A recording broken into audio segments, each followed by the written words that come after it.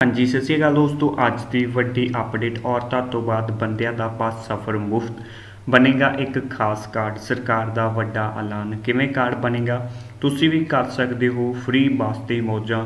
ਆਓ ਜਾਣਦੇ ਹਾਂ ਕਿਸ ਤਰੀਕੇ ਇਹ ਕਾਰਡ ਬਣੇਗਾ ਅਤੇ ਕਿੰਨਾ ਲਿਮਟ ਰਹੇਗੀ ਇਸ ਦੇ ਵਿੱਚ ਔਰ ਕੀ ਕੀ ਡਾਕੂਮੈਂਟ ਲੱਗਣਗੇ, ਸਾਰੀ ਇਨਫੋਰਮੇਸ਼ਨ ਆਪਾਂ ਤੁਹਾਡੇ ਨਾਲ ਸ਼ੇਅਰ ਕਰਦੇ ਹਾਂ ਆਪਣੀ ਅੱਜ ਦੀ ਇਸ ਵੀਡੀਓ ਦੁਆਰਾ।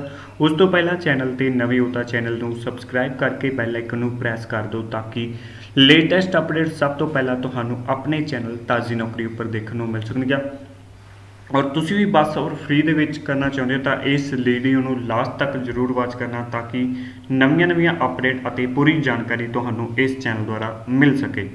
ਤਾਂ ਦੇਖ ਸਕਦੇ ਹੋ, ਇਹ ਸਕੀਮ ਪੰਜਾਬ ਤੋਂ ਬਾਅਦ ਹਰਿਆਣਾ ਦੇ ਵਿੱਚ ਸ਼ੁਰੂ ਕੀਤੀ ਗਈ ਹੈ, ਜਿੱਥੇ ਕਿ ਪੰਜਾਬ ਦੇ ਵਿੱਚ ਪੰਜਾਬ ਦੀਆਂ ਔਰਤਾਂ ਨੂੰ ਬੱਸ ਸਫ਼ਰ ਫਰੀ ਕੀਤਾ ਹੋਇਆ, ਲਗਭਗ 3 ਸਾਲ ਦਾ ਸਮਾਂ ਹੋ ਚੁੱਕਿਆ ਹੈਗਾ ਅਤੇ ਹੁਣ ਇਹ ਸਕੀਮ ਹਰਿਆਣਾ ਦੇ ਸੀਐਮ ਵੱਲੋਂ ਵੀ ਲਾਂਚ ਕਰ ਦਿੱਤੀ ਗਈ ਹੈ, ਜਿਸ ਦੇ ਵਿੱਚ ਉਹਨਾਂ ਨੇ ਦੱਸਿਆ ਗਿਆ ਕਿ ਅਗਰ ਤੁਸੀਂ ਵੀ ਹਰਿਆਣਾ ਦੇ ਵਿੱਚ ਰਹਿ ਰਹੇ ਹੋ ਅਤੇ ਹਰਿਆਣਾ ਦੇ ਅਲੱਗ-ਅਲੱਗ ਸਟੇਟ ਦੇ ਵਿੱਚ ਜਾਣਾ ਚਾਹੁੰਦੇ ਹੋ ਤਾਂ ਤੁਸੀਂ ਇਸ ਸਕੀਮ ਦੇ ਵਿੱਚ ਅਪਲਾਈ ਕਰਕੇ ਆਪਣਾ ਇੱਕ ਕਾਰਡ ਬਣਵਾ ਸਕਦੇ ਹੋ।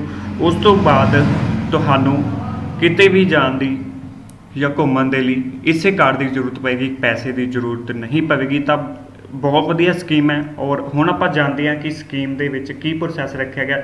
ਸਭ ਤੋਂ ਪਹਿਲਾਂ ਇਹ ਸਕੀਮ ਲਗਭਗ 22.99 ਲੱਖ ਪਰਿਵਾਰਾਂ ਨੂੰ ਸਰਕਾਰ ਹਰਿਆਣਾ ਦੇ ਵੱਲੋਂ ਦਿੱਤੀ ਜਾ ਚੁੱਕੀ ਹੈ, ਜਿਸ ਦੇ ਵਿੱਚ 600 ਕਰੋੜ ਰੁਪਏ ਦੀ ਰਕਮ ਦਾ ਖਰਚਾ ਹਰਿਆਣਾ ਸਰਕਾਰ ਕਰ ਰਹੀ ਹੈ ਅਤੇ ਇਸ ਦੇ ਵਿੱਚ ਤੁਸੀਂ 1000 ਕਿਲੋਮੀਟਰ ਇੱਕ ਮਹੀਨੇ ਦੇ ਵਿੱਚ ਸਫ਼ਰ ਕਰ ਸਕਦੇ ਹੋ।